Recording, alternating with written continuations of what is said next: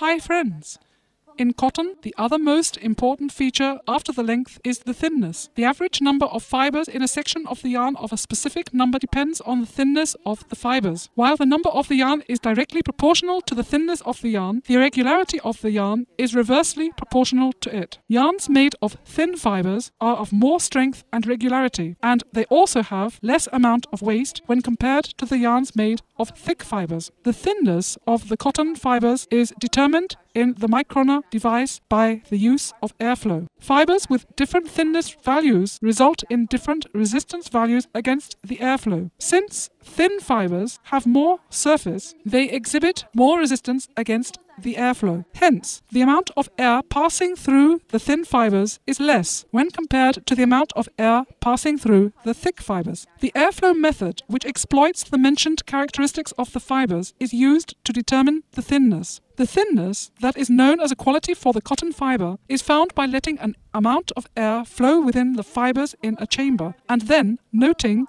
the obtained value of the pressure. Our device consists of the airflow control knobs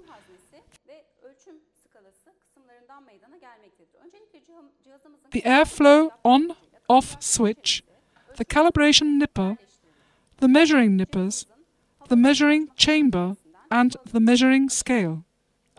Firstly, the calibration nipper is placed in the measurement chamber in order to make the calibration of our device, and the airflow is activated by using the device's airflow on off switch. Then the top of the float is adjusted to be at the sixth level. In the next stage, the hole on the calibration nipper is closed and the top of the float is moved to the third level. Thus, the calibration is completed. The airflow is deactivated by using the switch.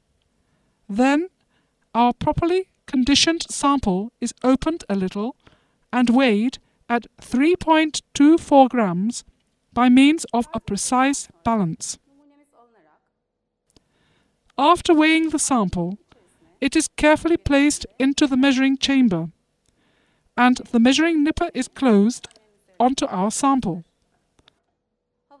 The airflow is activated. The value at the top of the float is taken as the test result.